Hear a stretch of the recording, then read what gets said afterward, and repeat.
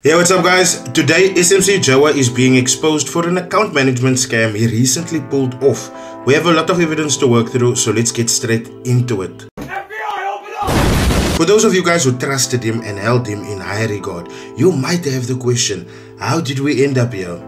Well, so in May this year 2024, I came across an Instagram post of Jody Raylow SMC Joa.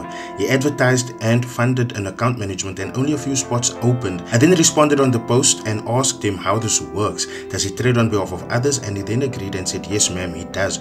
Your minimum investment is 18,000 Rand. I then mentioned it to my colleagues and told him that there are a few possible investors. He requested that I arrange a meeting. I cannot remember the date, but he then met up with a few of us at the offices. He explained his whole business model and what he does. He sold his business model for 20,000 Rand at maximum. He said to us that 10,000 Rand will go to the purchasing of funded accounts and 10,000 Rand will go to purchasing copy trade and admin fee.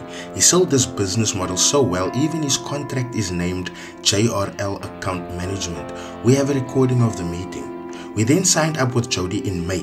He sent us all the contracts to read through and sign. Please note, we have all signed up on different days. He still said to us, look, he only takes 10 investors at a time, but he will open up more spots. He still said his current investors are making this much, etc. In June, when then other investors signed up, I got a message saying he opened up other accounts for myself and two other people because his stuff got hacked. He also changed his contact number. Still have messages of all of this.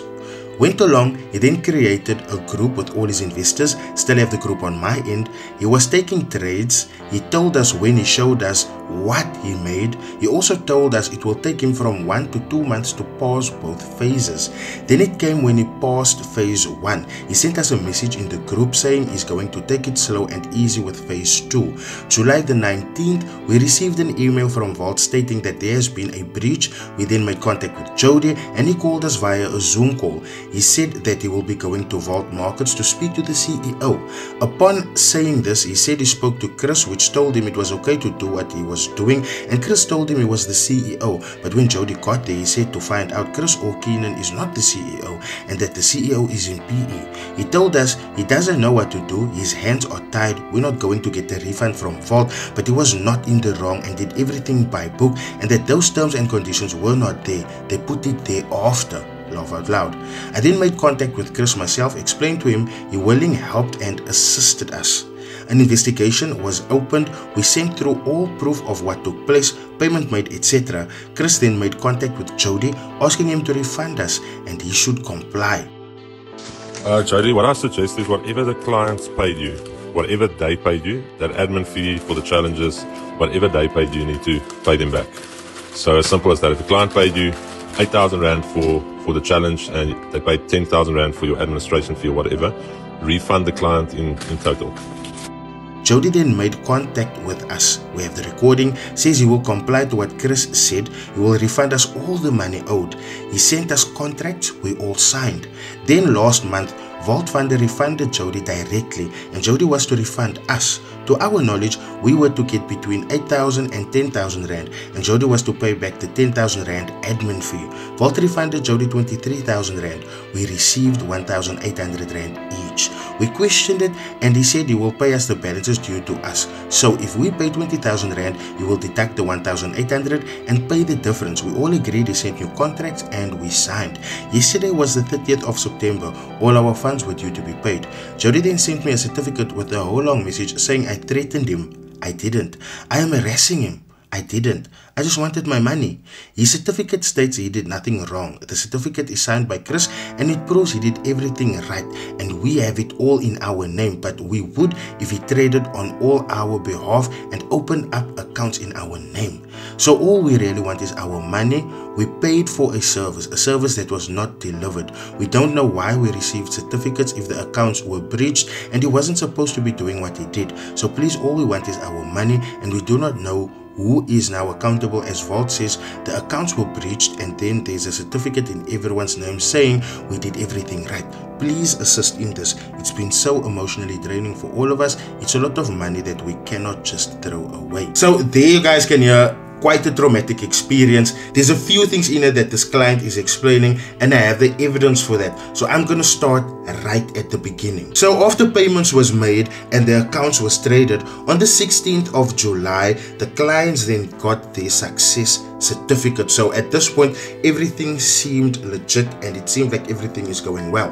On the 19th of July, though, this is when the trouble actually starts because then Vault Funder sent out an email to their clients. And this client is basically stating that their account is going to be closed due to forbidden trading practices. And you must understand they don't know what this means because they never traded the account. Jody traded the account.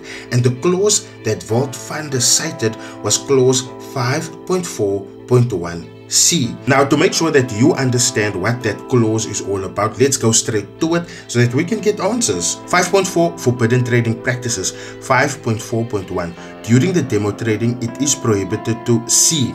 Perform alone or in concert with any other persons, including between connected accounts or accounts held with different Vault Funder entities, trades or combinations of trades, the purpose of which is to manipulate trading, for example, by simultaneously entering into opposite positions. So as you guys can see there, the discontinuation of service and blockage of account was explained with a clause, a clause that we can go to and read to get further understanding. Now, as the client said in the message, a new contract was then sent, people signed off, and in this contract, Jody said that he will pay them back. So let's get to this contract so that you guys can see what I'm talking about. Here's the contract and you can see name Jody Lowe, title CEO, founder and director company, JRL account management and I'm gonna just skip down to number one, the background.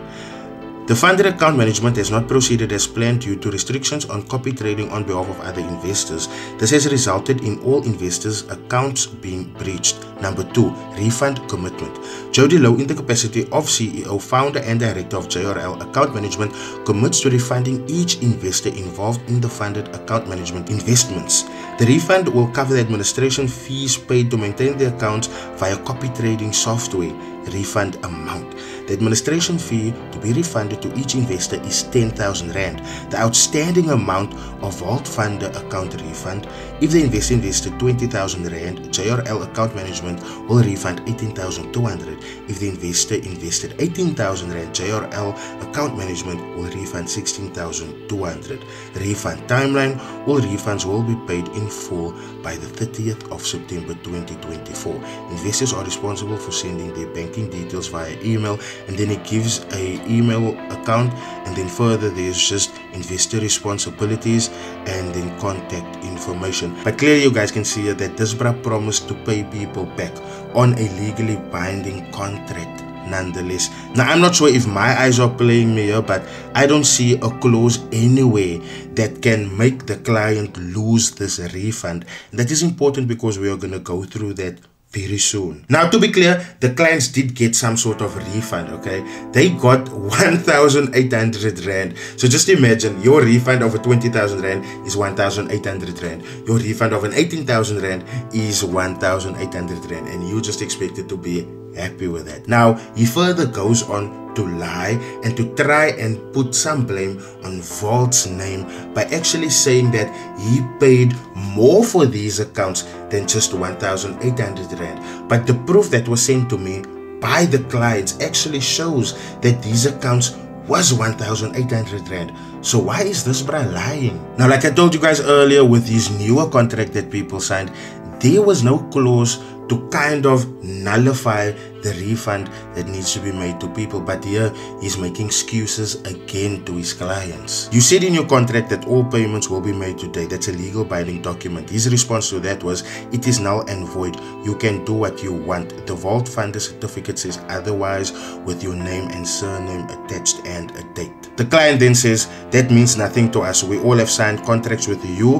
Why aren't you paying us our money back. And then he then responds by saying, Are you accusing me of stealing your money? Now, I don't know why these clients are taking so long to say this, but guys, one last time, let's go over this. He charged these clients 20,000 Rand. 10k was supposed to go for copy trading, which never happened. And 10k was supposed to go to buying funded accounts. Of the 10k that was supposed to go to buying funded accounts, he only spent 1,800 Rand of that. So for the clients that paid 18,000 Rand, right? What happened to the remaining 16,200 Rand of these? To the clients that paid 20,000 Rand, what happened to the remaining 18,200 Rand that was left after paying their funded accounts?